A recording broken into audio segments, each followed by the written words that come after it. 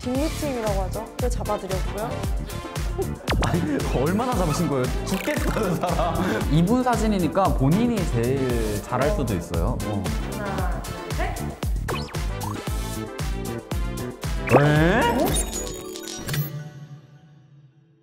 평소에 세 분 보정 많이 하시나요? 어, 보정 빠질 수 없죠. 저는 보정 없이는 사진을 안 올립니다.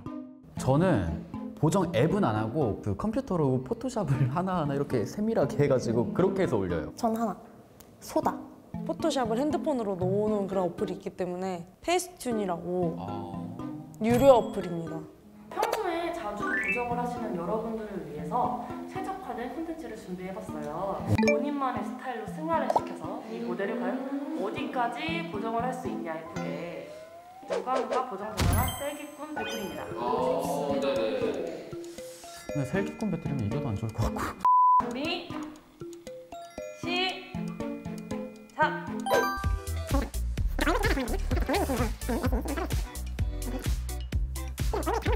3, 2, 1, 땡! 인중 길이를 조금 올렸고요. 그 다음에 살짝 비대칭이 있으셨어요. 그래서 비대칭 있는 부분, 그러니까 제가 봤을 때 왼쪽 부분 턱을 조금 맞췄고 목 굵기도 조금 터치를 했고 코 쪽이 좀 살짝 똥똥하다는 느낌을 받아가지고 음. 콧볼을 좀 많이 줄였거든요. 그래서 그렇게 해서 전체적인 비율을 봤을 때 솔직히 어- 얼굴 작고 싶잖아요. 그래서 우선 얼굴 작은 거에 좀 더 포커스를 맞췄고요. 좀 눈동자도 키우고 렌즈도 씌워져서 눈이 좀 더 또렷해 보이고 턱을 좀 짧게 해서 좀 더 동안 이미지를 만들었습니다. 이마도 좀 비율을 맞추기 위해서 살짝 축소를 했어요. 쇄골 쪽도 비대칭이시더라고요. 이 짧은 시간에? 네. 저는 그걸 다 캐치했어요. 이걸 이렇게 내려주고 또 얼굴이 비대칭이시더라고요. 그래서 비대칭 잡아드렸고 또 여기가 좀 여백이 좀 있으시더라고요. 거기 잡아드렸고요. 뒷미트임이라고 하죠. 그걸 잡아드렸고요. 아니, 얼마나 잡으신 거예요? 죽겠어요, 사람. 얼굴의 중심이죠. 코 부분. 아, 복꽃이더라고요. 복꽃인 코를 정말 세련되게 바꿨습니다. 와, 근데 눈이 진짜 확 커지고 예쁘다. 입술도 건드리신 거예요? 네. 입, 대박. 입꼬리가 엄청 이뻐졌는데? 머리 스타일 빼고 다 건드렸다고 보시면 돼요. 이 어토샵의 경력이 얼만큼 되신 거예요? 이 어플을 사용한 지는 1년도 안 됐어요. 진짜 필요한 부분만 집어넣어요. 눈도 전체적으로 이렇게 확 키우는 게 아니라 필요한 뒷, 뒷꼬리 정도. 가장 보정을 잘했다. 하나만 뽑아줄 수 있으실까요? 저는 수진 씨가 이 결과물로 봤을 때 제가 진짜 되고 싶었던 얼굴? 제가 되게 추구하는 그런 미인상이에요. 진짜. 저도 네, 눈이 그리고 이렇게 위아래로 이렇게 앞팀, 뒤팀, 위팀, 아래, 밑팀까지 다 하셔가지고 그리고 어깨 이렇게 대칭도 신경 쓰신 게 이건 보통이 아니다. 본인이 실제로 본인을 보정한 사진 아 이렇게 해서 한번 비교를 해보도록 할게요. 이분 사진이니까 본인이 제일 잘할 수도 있어요. 어. 하나, 왜? 느낌이 되게 달라요. 근데 눈 크기는 그 수진 씨께서 하신 거랑 비슷해요.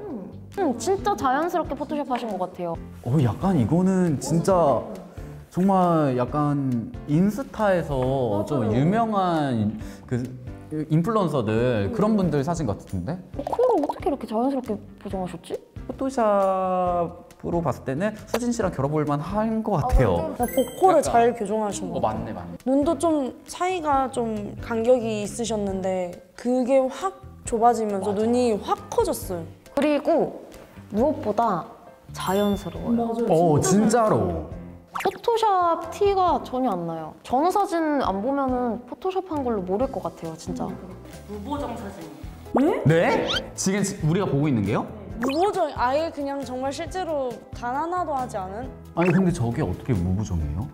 저희가 이제 MC 세 분들한테 드린 사진은 수술 전 사진이고요. 아, 코가 그러니까 코가 달랐어. 이 사진은 수술 후 사진인데요.